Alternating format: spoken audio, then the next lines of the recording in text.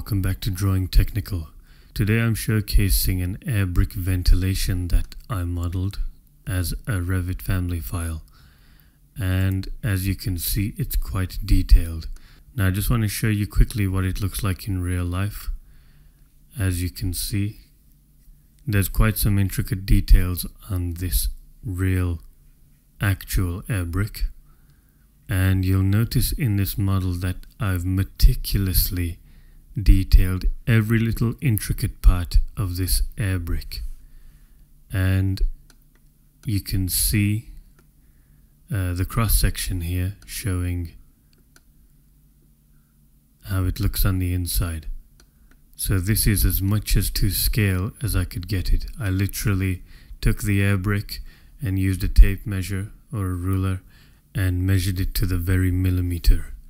So uh, this helped me to shape it correctly and it fits in the model quite nicely as you can see here. I've placed it in a wall and uh, it's fitting quite well. And here's a back view of this model. You can see it quite nicely. Uh, I'm going to just have a deeper look on the inside so you can see what it's like. Let me just isolate this and turn on shadows so it looks good. Uh, let me just turn on a better shadow setting.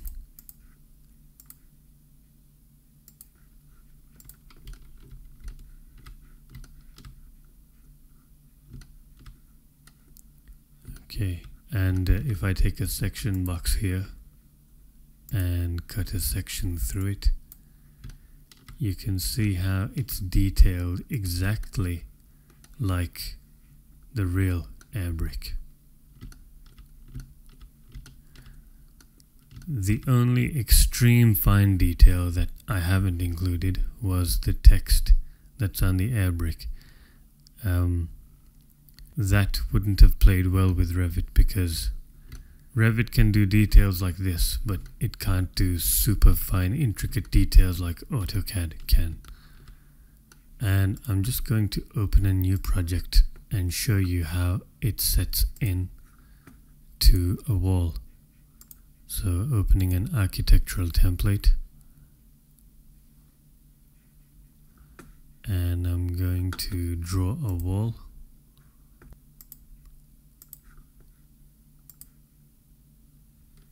as you can see here.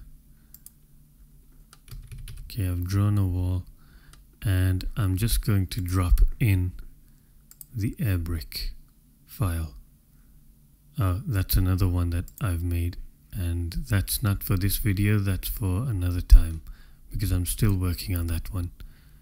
You can see in the tiny thumbnail here where it has the extension flue part but like I said, it's not ready yet.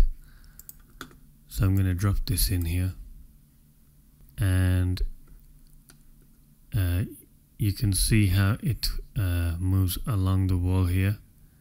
And all you have to do is click it in somewhere. And then we can have a look at it in 3D. And you see that it's inserted itself right where it needs to be. So it's 150 mil above the ground or the bottom of the wall. You can edit this height by clicking it and just changing the parameter here. Just change the figure to 250 and it'll move up. And also you'll see that it cuts right through the wall. So it's actually ventilating the wall.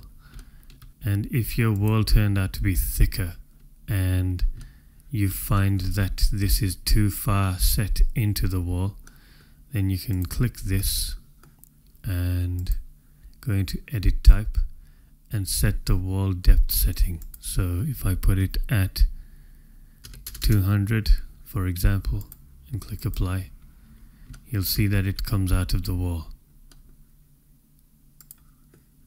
And I can send it back in at 100 and you'll see that it goes back in a bit too far.